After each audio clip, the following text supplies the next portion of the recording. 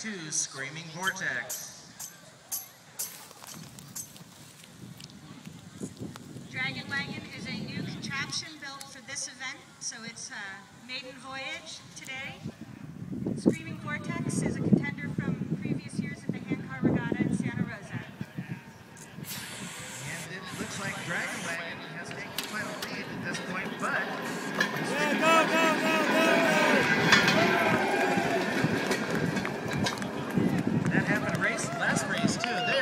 neck right now. They are neck and neck, nose to nose.